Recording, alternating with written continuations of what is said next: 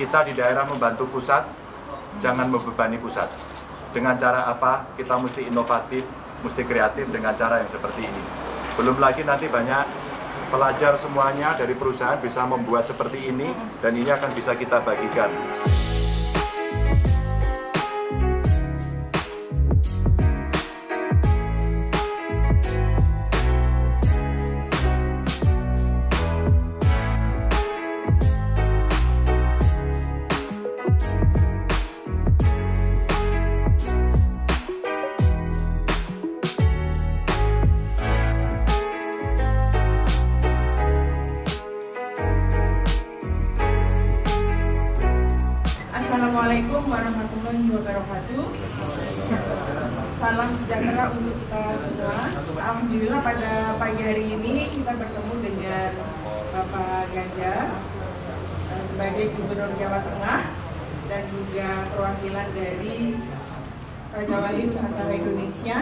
Kemudian kami dari Pemprov dan dari Kimia Farma sebagian dari eh, holding farmasi kesayangan rakyat Indonesia Pak yang insya Allah hari ini kami akan mensupport uh, terkait dengan kebutuhan peralatan seperti hand sanitizer, kemudian juga ada multivitamin yang kami berikan kepada Dinas Kesehatan Jawa Tengah sebagai bentuk kepedulian kami para Ganjar.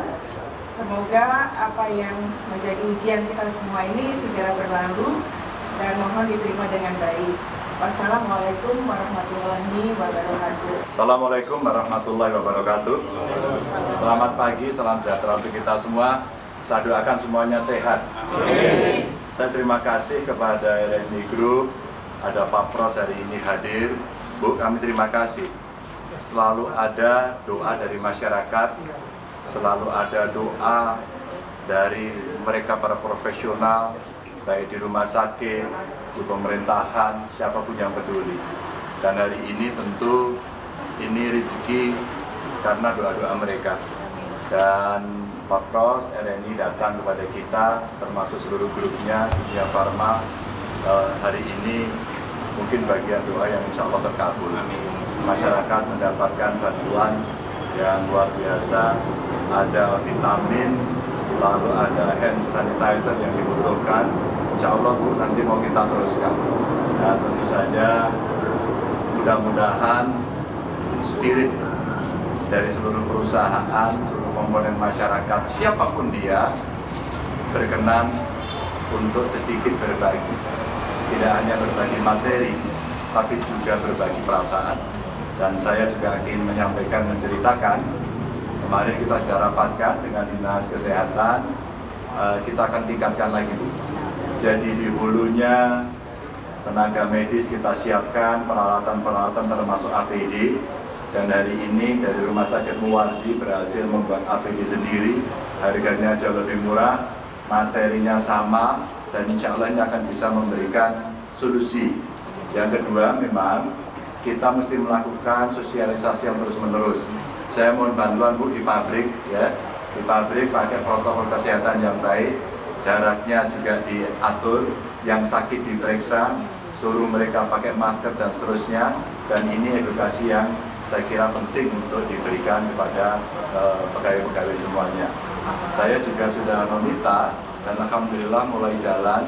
Sekarang Bu kita gerakkan tidak hanya dari pusat, tapi provinsi saya minta semua turun untuk menyampaikan sosial kepada masyarakat melalui semua kanal dan itu juga kita turunkan pada kabupaten kota sampai camat, sampai lurah, sampai dengan RT RW. Pagi tadi saya keliling ke beberapa desa-desa di apa kampung-kampung begitu. Alhamdulillah sudah mulai jalan. Ada Satpol PP yang hari ini sudah mulai mengingatkan masyarakat agar social distancingnya jalan, mengingatkan jarak, mengingatkan cuci tangan, saya terima kasih beberapa kades sekarang juga merespon di kampung-kampung dengan sangat baik, mencatat siapa yang sakit, siapa yang keluar masuk, siapa yang dari uh, apa namanya pendatang ya, maka itu dari luar negeri atau luar kota. Dan inilah yang kemudian cara gotong royong, cara menanggung perasaan bersama, sedikit berbagi juga bahwa mereka yang kerja di rumah sakit perlu kita bantu dari sini. Di lain doa, selain doa, Iya. pemerintah Iya. termasuk hari ini bantuan-bantuan diberikan, tapi juga mereka minta bantuan ke kita.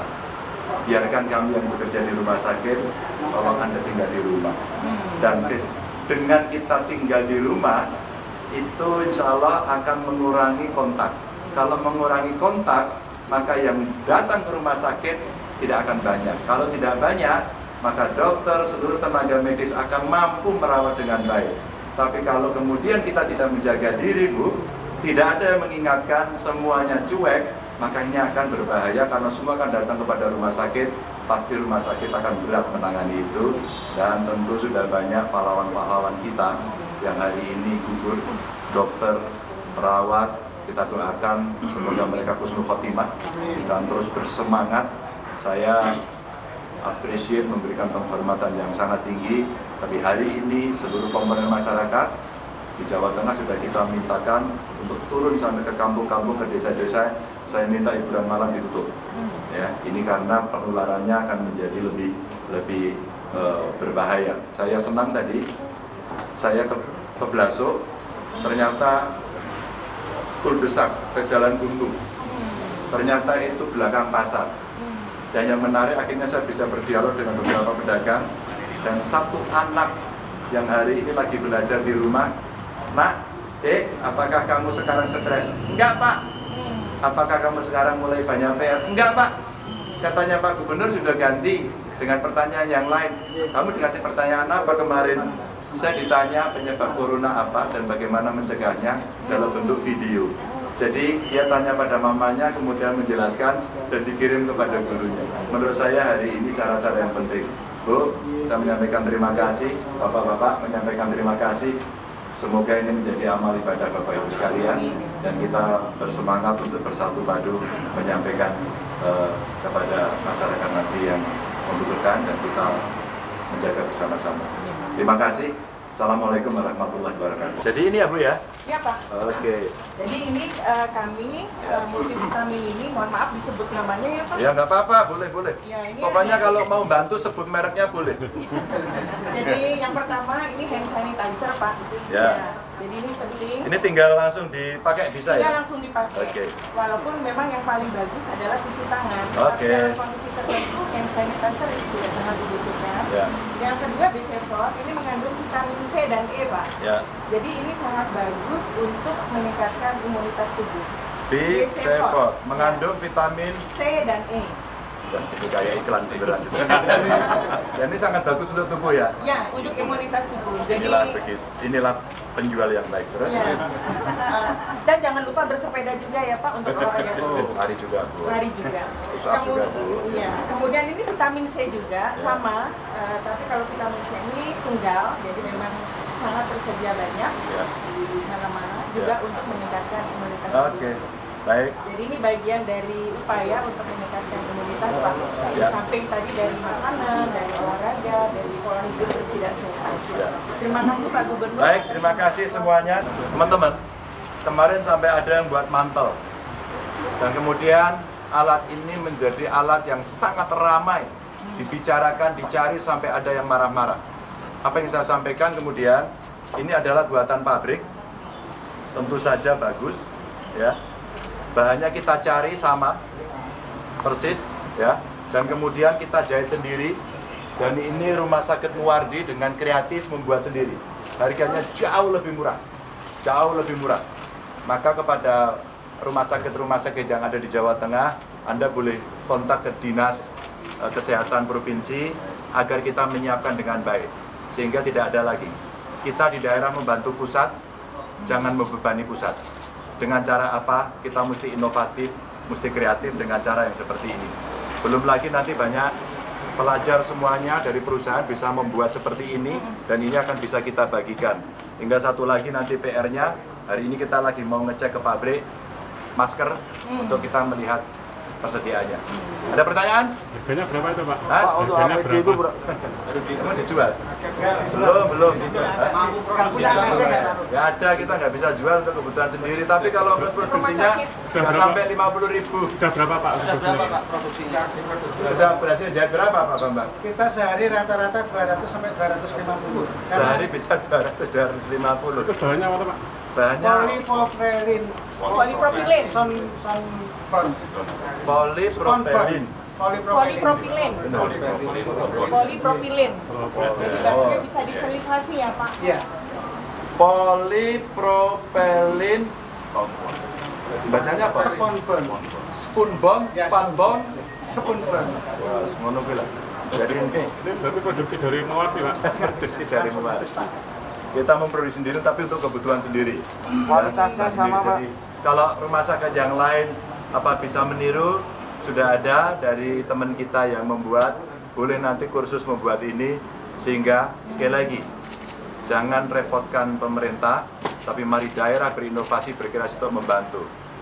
Setiap usaha ikhtiar yang sungguh-sungguh dengan doa yang tulus yang ikhlas selalu ada solusi yang bisa kita carikan. Dan ini produksi yang ada.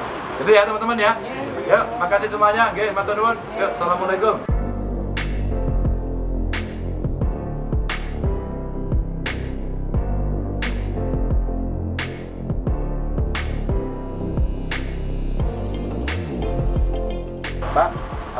provinsi kami menyampaikan terima kasih. Ya, terima kasih atas nama mudah-mudahan manfaat ya, ya.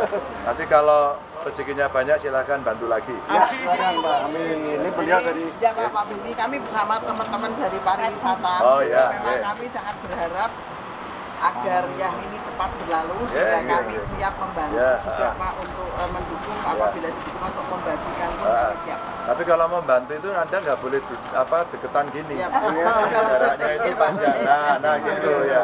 Agak saya jorain tuh, padha wae. Wartawan lebih mengerikan lagi. Agak ke sini, Bu. Bu. Jadi wartawan lebih penting. Berita. Tangan dipoto. Hah? Eh, kepentingan media buat kita nggak penting. Kepentingan media itu justru cara foto kita era ini. Terus apa nempel-nempel kalau matching ya ngopo.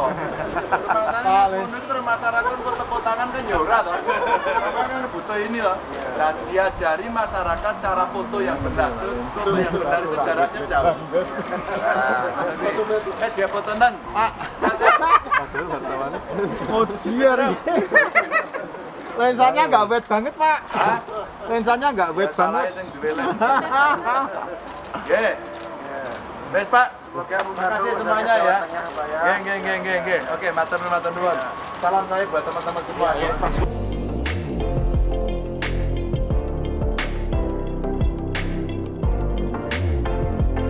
Tentu kita akan dorong untuk ngecek rumah sakit dulu, yang melayani dulu.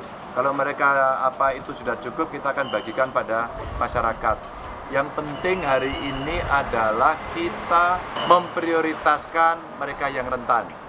Jangan lupa ada bapak kita, ibu kita, kakek nenek kita yang sudah sepuh, yang itu cukup rentan. Mari kita perhatikan.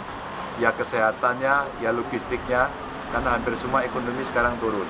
Ya. Terus kemudian mereka yang berkebutuhan khusus, ya, ini yang mesti mendapatkan perhatian. Maka nanti ini bisa kita diskusikan di sana. Mohon maaf, rumah-rumah singgah, apa panti-panti jompo itu saya kira menjadi tempat yang cukup penting untuk menjadikan perhatian kita. Itu kalau distribusinya, yang lainnya nanti ke masyarakat.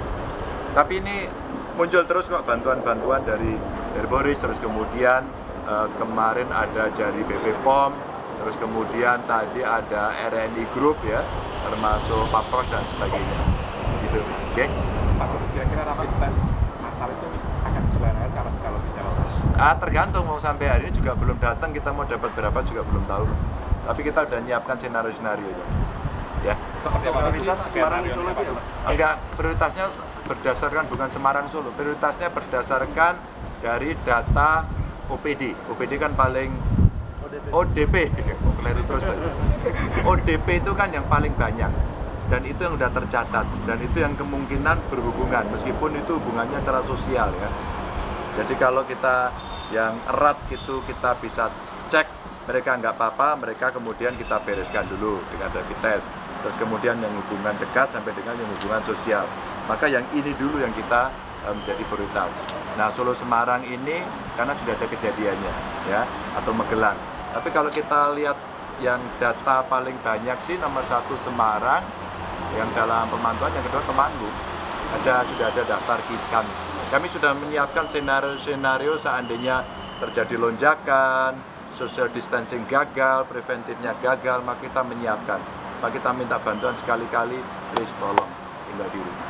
Pak, untuk di Semarang dan Ya mereka memang anu belum kelihatan uh, sumbernya tapi yang wirawiri. Yang wirawiri masuk umpama tadi malam itu Jepara tiba-tiba punya inisiatif yang bagus karena banyak bis menurunkan penumpang banyak kurang lebih 44 bis. Belum yang travel-travel tadi itu bagus banget dicek. Banjarnegara akhirnya juga melakukan dan sekarang mereka kita minta untuk mencatat satu persatu. Inilah yang saya minta mesti turun semuanya, camatnya turun, kadesnya turun, RT-nya turun, RW-nya turun, tokoh agamanya turun, tokoh masyarakat turun. Cuman tempat hiburan, terus kemudian anak nongkrong, ya ini yang nanti kita minta Satpol PP yang di belakang itu untuk jalan, TNI Polri untuk jalan, Lurah Kades jalan semuanya. mulai kapan Pak? Hah? Mulai kapan? Udah mulai dari kemarin, bahkan teman-teman Satpol PP kemarin ada yang di kota Semarang sama di Magelang. Itu udah nemu. Ayo, kowe ngopo ora sekolah? Ayo mulai kabeh. Sekarang saya minta untuk ya bringosi dipelintir.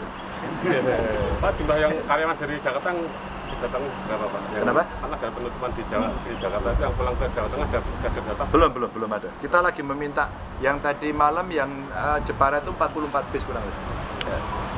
Kenapa kami membuat aplikasi untuk self assessment ya? Kenapa sih? Mari masyarakat tolong bantu kami. Anda nggak usah takut. Siapa yang dulu ikat, ikut seminar di Bogor? Siapa yang bertemu dengan mereka? Please bantu kami. Anda self assessment lah itu bisa se Indonesia aplikasinya terbuka. Terus kemudian yang ikut acara apa itu seminar yang di Semarang ya, Ya, di Kabupaten Semarang, tolong juga itu Anda ceritakan. Ngaku baik, ngaku kali ini baik. Anda nggak usah minder, akan kita rahasiakan semuanya. Termasuk gaya terbukanya wali kota Bogor. Ya, Bima Arya menurut saya dia hebat, dia hebat lah pokoknya. Disampaikan secara terbuka, ya begini, kami begini-begini, gejalanya begini, dan kemudian itu akan membantu kami untuk melakukan.